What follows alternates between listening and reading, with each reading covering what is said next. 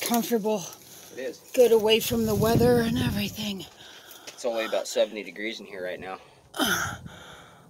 But yeah, see all the dark residue? Yeah, That's, that's smoke. That's all ash smoke.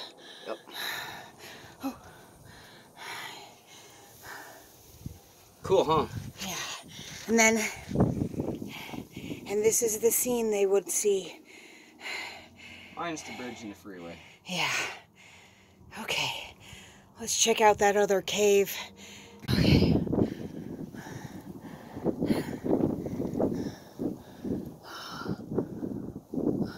See all the all the clean face on the rock? Yeah. That's from the last earthquake. This this used to come out. This shelf used to come out much further, Yeah. but when the world shook again, We call that mound right there the shaman mound because we believe that shamans would do their Thanksgivings there.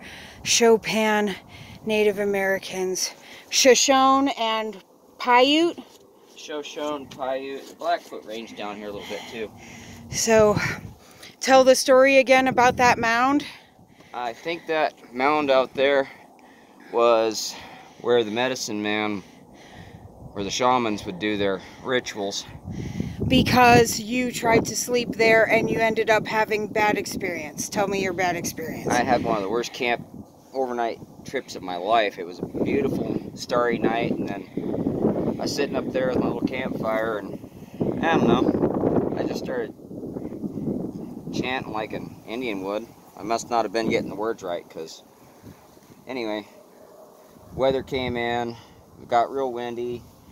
I had to deal with rain and hail and I couldn't get out of there fast enough in the morning. I wasn't welcome. So That's the story of that mound right there. This Native American winter camp is backed right up to our ranch.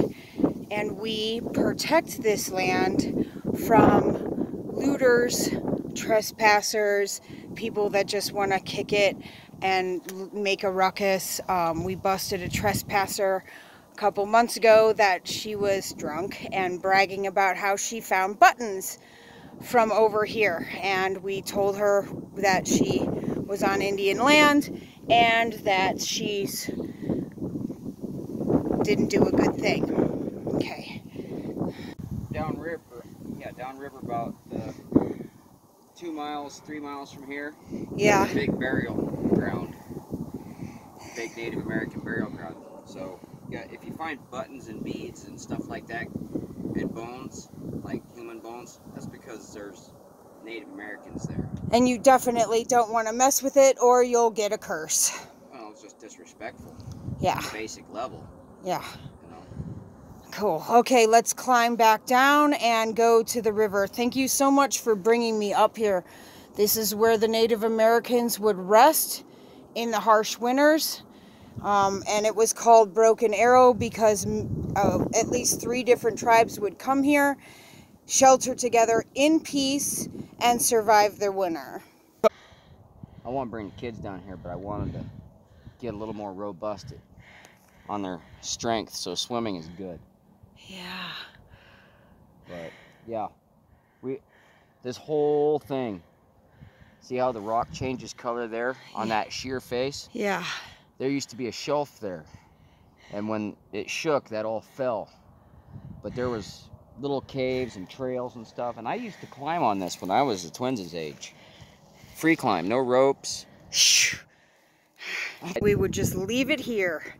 More caves in here. I don't know if you guys will be able to see them, but See, if you look right there, see that great big one there? If you look at the coloration of the rock, you can see where it all broke loose. That thing wrapped around the corner. It was massive. You see all the cliff face is different colored? It's Yeah. lighter. That means the rock hasn't been ex- exposed for as long. Look, all the way down. You can see how it peeled off when when, when the earthquake happened in 94, right? No, this one was in 2008. Oh, the big one in 2008 that we had here, it was like, uh, I think it hit a four. and it just and I missed it. I was living right over there across the river, and I saw the cliffs every morning, and then I missed it by five minutes. Ah, I okay. That's where we're headed next. Um, this whole river, stretch of the river is very deadly. Can't swim in it except for this spot because there's undertows. So that's where we're going. And this is what we see. We'll toss a stick in over here where the current's at. I'll toss a stick in there so that the, your subscribers can see just how fast that water's moving. It looks so beautiful and comforting and warm and nice and just float down the river. Except that the undertow will catch you and you're drowned. Yeah, this this has claimed hundreds of lives. Cal, look, look at the discoloration of this rock. This one was one of the big rocks from up there. Wow. This one come and landed here after it shook loose. Now, what did you say about this? All right, so if you look, here's a flake. That's a fleck. There's a fleck. Hey, you gotta go There's- slower. There's a chunk. Here's a big, big chunk. This is all evidence of flint knapping of the natives being here making arrowheads and spear points and knives and whatever other stone tools they needed. And that, that right there is razor sharp right now. Matter of fact, modern surgeons use obsidian for scalpels because of the fine, it's one molecule thick. One molecule. That's that's basically an atom. Extremely fine edge. All right, Here we are, down in the swimming hole. Eric was just telling me that the water goes all the way up to here. Clear. You can see where the water changes. Co- the the soil goes from white to brown. The white is the high water mark of the Snake River. And then, and then we've got the cliffs and this super muddy spot. All right, we're gonna find a stick so he can do his throw thing for you guys. And there's another one. You could actually collect. Is that a living mussel? No, this one's not. But there are living mussels in here. And you can eat them. Yeah. Do they make pearls? Where are they coming from? These are freshwater mussels. Oh, forgive my ignorance. But yeah, they do make itty bitty tiny pearls. Nice. And they like to bed into these sandbars. So if you go up along the islands and in these washouts where all this sand is, that's where you'll find these guys. Raccoon found this one. You see where it broke here? Yeah, Raccoon broke it, pulled it open, and ate the. Uh, living organism inside. yep, Nice. one tasty little dinner at a time. Hold on.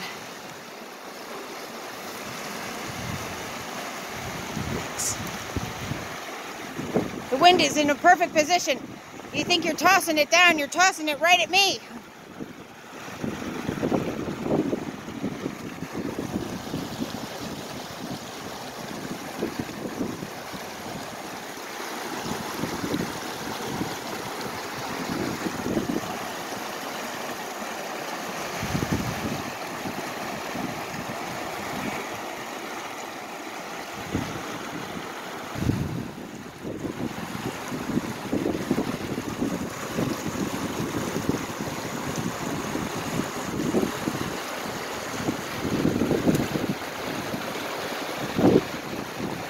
There's a cave. Right there.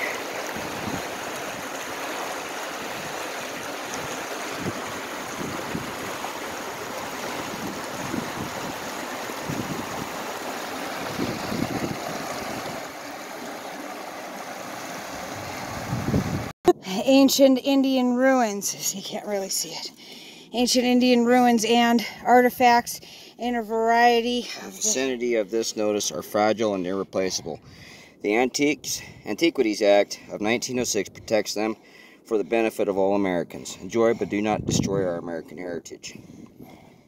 And the rest is just you got to have your ducks in a row in order to be here. Someone was obviously disrespectful and shot up this sign. Yep. We found that on the ground right BLM here. number S53, April 1964. Huh, ah, sign from Nicey. That in itself is an artifact.